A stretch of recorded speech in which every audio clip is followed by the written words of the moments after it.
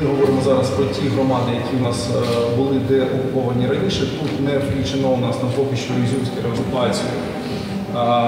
З них у нас там залишається частково сім громад. З Луганської області, ну і звичайно Вовчанська громада так само вихід є лише на території Російської Федерації, як і відповідно Куп'янська громада, ну і власне кажучи, Ізюм. І ми зараз е, готуємо і житловий фонд, і нашу критичну інфраструктуру е, виділені нам із е, відповідно державного резервного фонду.